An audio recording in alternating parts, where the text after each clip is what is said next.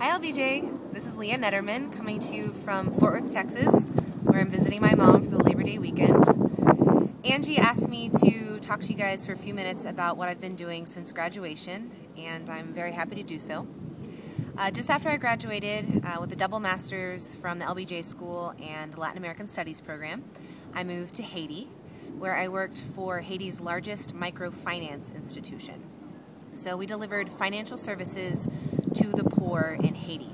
Most of our clients lived under $2 a day, which meant that uh, they don't have electricity, running water, they have trouble sending their children to school, and sometimes they don't have enough to eat.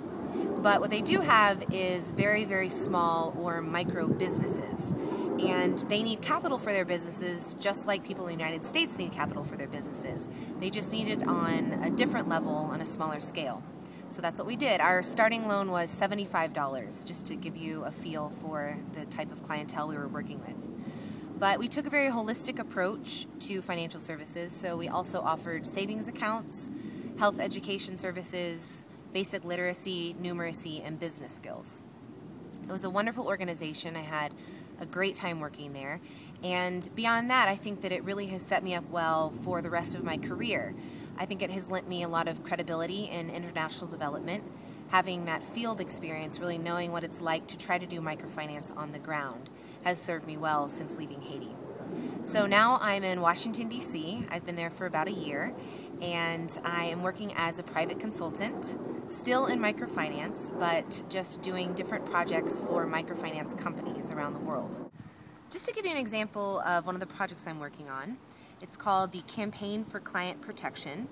And we call it client protection in microfinance, but it's probably more commonly known as consumer protection. And it's very similar to the consumer protection that you know. But um, when you're working in microfinance, you're usually working with very poor people who are very vulnerable. Um, with low literacy levels, and they may not be that familiar with how financial services work.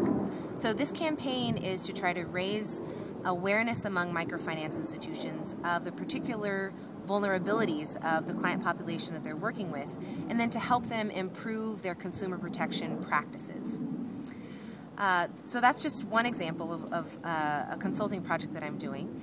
I love consulting. I would highly recommend it for people that feel like they're a self-starter, that can get themselves out of bed in the morning and work for 10 hours without having a, a boss sort of looking over their neck breathing down their neck. Um, I get to travel a lot. Um, recently I've been to Switzerland, Peru, Kenya, Uganda, um, which I really love, getting to interact with people from all over the world in the field of microfinance.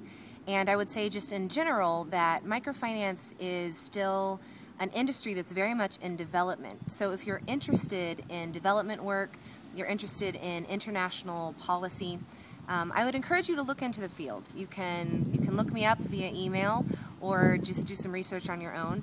Um, but I think it's a really exciting field, and, and if this has piqued your interest, I'd encourage you to look into it.